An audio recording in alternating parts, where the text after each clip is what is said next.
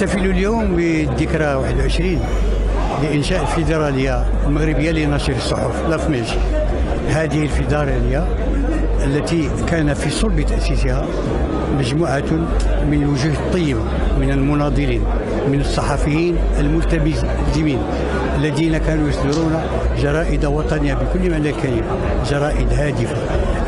جرائد كانت دعما لا مناص منه بالنسبة لتطور المغرب ولتطور الحريات والديمقراطية ببلادنا هؤلاء الرواد تركوا لنا هذا البيت يجب أن نحافظ عليه. نريد أن تستمر الفيدرالية لكن الذي كان أعضاؤها لا يتجاوز عدد أصابع اليد أو اليدين. أصبحت اليوم تضم أكثر من 400 شخص ولقد شاهدت ذلك.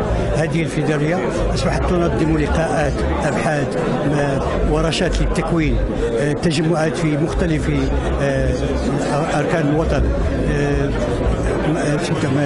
لقاءات جهوية آه، مكاتب جهوية فروع.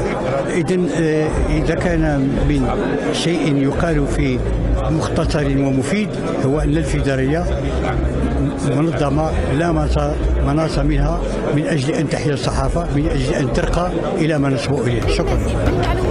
تنسوش تابونا وتفعلوا الجرس باش يوصلكم جديد لو سات تيفي.